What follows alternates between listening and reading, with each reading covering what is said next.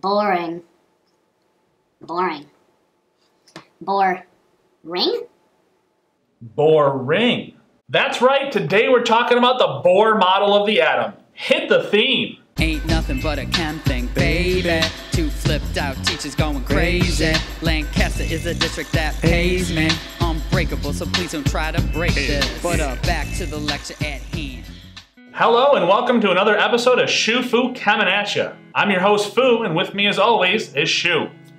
Shu know it. So if you recall, in the last episode we talked about electromagnetic radiation, or EMR, and how it had properties of both waves and particles, but we really didn't introduce any new models of the atom. And today we're going to actually bring those two things together, electromagnetic radiation and a new model of the atom. Let's get started.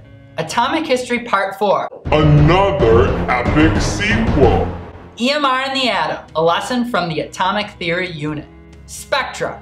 When white light is passed through a glass prism, the light separates into different colors based on their different wavelengths. Like a rainbow? We get what is called a continuous spectrum because the colors blend into one another. Like a rainbow. Atoms can produce a spectrum as well.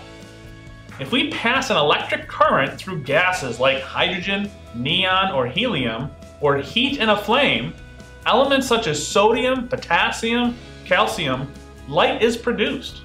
If we take a look at the flames on the left, we see that there are different metals. These different metals have characteristic colors that they give off when they're heated in a flame. This is much like the different colors we'd see in fireworks.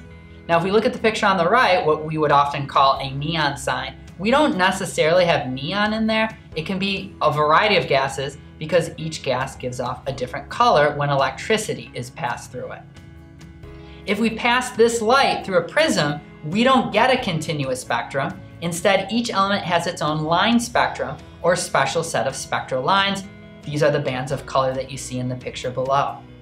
Do you ever wonder how scientists know what a star that's billions of light years away is made of? We take the light from that star and we pass it through a prism and we analyze its spectrum. Now since every element has its own distinct set of spectra, we match those lines up with the spectra we see from the stars and then we know what that star is made of. We know that Jupiter has an atmosphere made up mainly of hydrogen and helium. Europa, a moon of Jupiter, has a very thin oxygen atmosphere, and HD 209458b, a Jupiter-sized exoplanet orbiting the star HD 209458, which is 154 light-years away, has an atmosphere that contains hydrogen, carbon, oxygen, sodium, carbon dioxide, methane, and even water vapor. All this even though we haven't visited any of these places to directly sample the air. But we don't need to. We can study the air on other planets, moons, and exoplanets just by looking at them, in particular by looking at light that bounces off or passes through their atmospheres, because when you shine light on a gas, the molecules absorb and scatter different frequencies of that light in different amounts. If we then split the transmitted or scattered light apart into its constituent colors using a prism or diffraction grating, we can see a molecule's light absorption fingerprint, or its light emission fingerprint. This is hydrogen, this is nitrogen, oxygen, methane, carbon dioxide, water. So when we look at the sunlight bouncing off of the atmospheres of planets and notice spikes of certain heights in certain frequencies, we can carefully match those to the known fingerprints of gas molecules, and learn not just what gases make up the air, but even their relative abundances. In fact, we don't even need to be able to see a planet at all to learn about its atmosphere. Many exoplanets have been discovered because they pass in front of their parent star, which we see as a dip in the overall intensity of the star's light. But if an exoplanet has an atmosphere, the gas molecules in its atmosphere will block some frequencies an extra amount, according to their molecular fingerprints, and we can do the same fingerprint matching process as before. And that's how we know what's in the atmosphere of HD 209458b. Of course, in practice, it's pretty darn challenging to use molecular fingerprints to study exoplanet atmospheres, because air is thin, so the fingerprints are super faint and we need big sensitive telescopes and spectrometers, and because atmospheres are complicated and their fingerprints can be ambiguous or hard to match, and because different parts of a single star emit different amounts of different colors of light, so a planet's effect on the star's spectrum will depend on which part the planet passes in front of. But all of these difficulties can be dealt with by clever astronomers, and thus we have been able to figure out what the air is like on planets hundreds of light years away that we can't even see. Niels Bohr, Danish physicist, 1885 to 1962. revised the Rutherford model by explaining these spectral lines. Bohr suggested that electrons orbiting the nucleus could only exist at certain energy levels or distances from the nucleus, not at random energies in the Rutherford model. Bohr's explanation. When an electric current or flame passes through the atom, electrons become excited and jump from low energy levels, called the ground state, to high energy levels, called the excited state. The excited electron falls back to the low energy level and gives off energy in the form of light. Because there are specific differences in energy between the levels, only specific frequencies of light are seen in the spectrum. Thus, the spectrum is made of spectral lines and is not continuous. All right, let's say that I'm an electron. I'm an electron in the ground state right now. I'm in the lowest possible energy level. I'm close to the nucleus. I'm very stable. Now let's say a red photon of light comes my way. It actually passed right through me. The reason for that is that the red light at a low frequency, low energy, wasn't enough energy to send me to a higher energy level in the excited state. But let's try another one. We've got a yellow photon of light. So that comes by me, and as the electron, I absorb that energy. It happens to be the right amount of energy to send me up to a higher energy level. See I got taller? I'm now in the excited state with this light. I'm at a higher energy.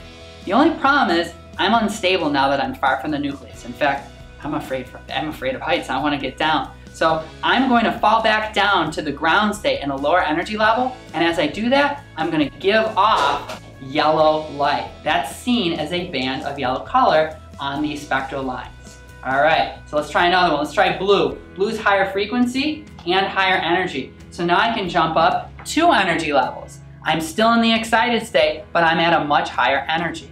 Again, I'm unstable. I want to return to low energy close to the nucleus, and so I'm going to fall back down to become stable. And as I do that, I'm going to give off blue light, and again, I'm going to see a band of color that is blue as a result. So this image is a good example of the Bohr model of the atom. Some people also refer to it as the planetary model. And that's because the nucleus of our atom is much like the sun, and the electrons in those orbits or those rings are a lot like our planets revolving around the sun. Now, in this diagram here, if you look at the number one, we have energy particles coming in and being absorbed by the electrons in their orbits. Now, from one to number two there, you can see where the blue electron becomes a red electron and it has absorbed the energy that came in. Now again, it's unstable. It wants to get back towards the nucleus to a lower energy level.